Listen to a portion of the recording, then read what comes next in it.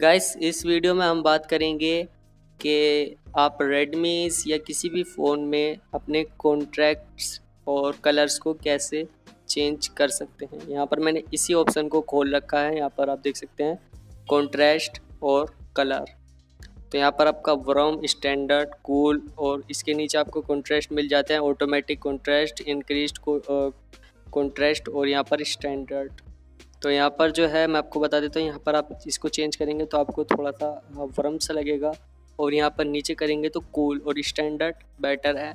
आप स्टैंडर्ड पर लगाएँ या इस पर लगाएँ तो ये ज़्यादा अच्छा रहते हैं दोनों। और यहाँ पर आपको ऑटोमेटिक कॉन्ट्रास्ट भी मिलते हैं और यहाँ पर इसके हिसाब से आप इनको सेट कर सकते हैं।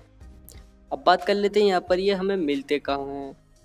तो यहाँ पर हमें जाने के लिए सबसे पहले क्या करना होगा गाइस यहाँ पर आपको अपने मोबाइल की सेटिंग्स में जाना होता है। और जैसे ही आप अपने मोबाइल की सेटिंग्स में जाएँगे तो यहाँ पर आपको डिस्प्ले मिलेगा। डिस्प्ले को खोलना है। डिस्प्ले को खोलने के बाद यहाँ पर कॉन्ट्रेस्ट एंड कलर्स मिलते हैं। तो यहाँ पर आपको इसको भी खोल लेना है। तो ये हमारा एक्ज्यूमी का नोट फाइव प्रो है, जिसमें ये हम यूज़ कर रहे हैं।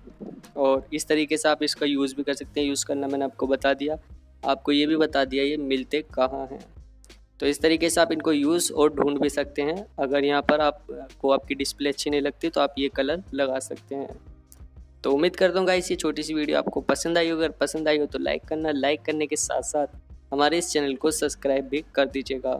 तो मिलते हैं गाइस अगली वीडियो में। तब तक के लिए बाय एंड टेक केयर।